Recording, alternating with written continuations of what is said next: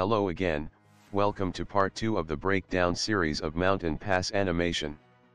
After watching this tutorial you will be able to create a low poly tree, in 1 minute, I will be going slow so even the new beginners can easily follow me, and if you like the video, then please like and subscribe my channel Rogue Knight 3D, so you can also watch my new upcoming videos, well let's start modeling.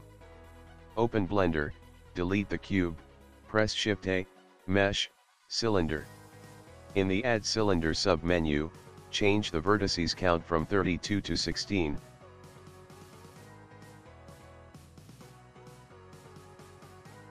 Then go to Edit Mode, select Face Select Mode. Select the top face, scale it all the way down.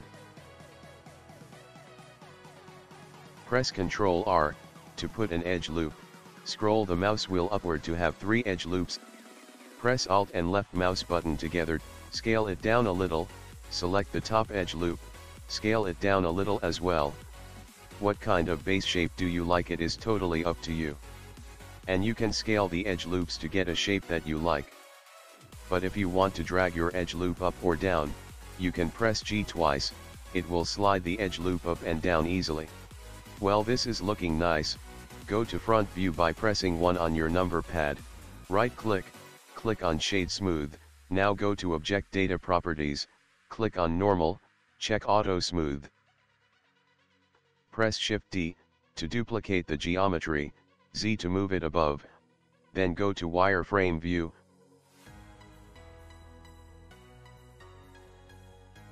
repeat the same process again, and then scale them down, and work on it till you get a shape that you like.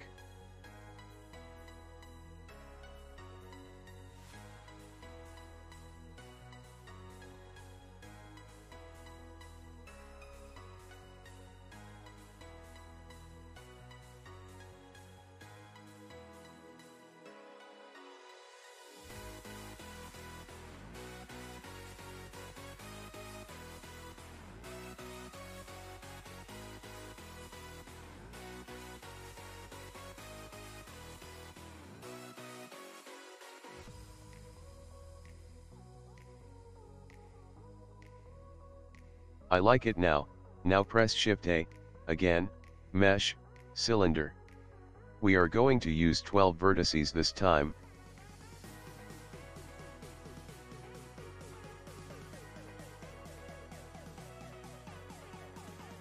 Scale it down. GZ, to bring it down a little, scale it till you get a shape that you like. If you want to scale the object in its x and y axis and do not want to scale around its z axis then press S for scale and shift Z.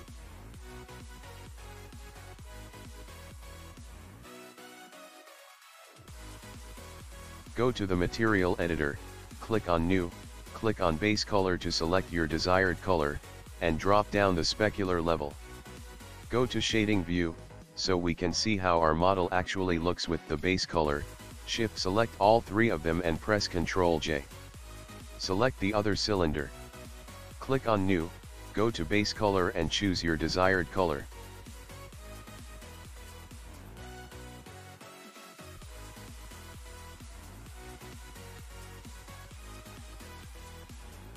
Our one low poly tree is done, now I am going to duplicate this one and create another one with snow on top of it.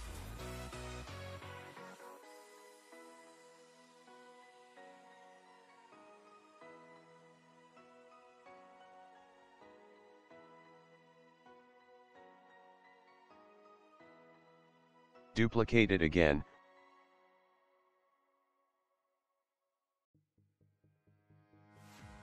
Go to Material Editor again. Click on plus, press new, the base color is already white, I just have to lower the specular level a little bit.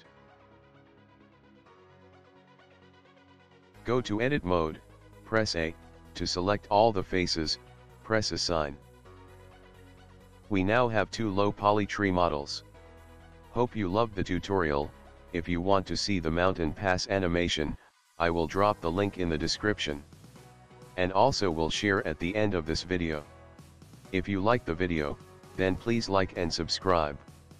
Well see you in my next video, happy blending.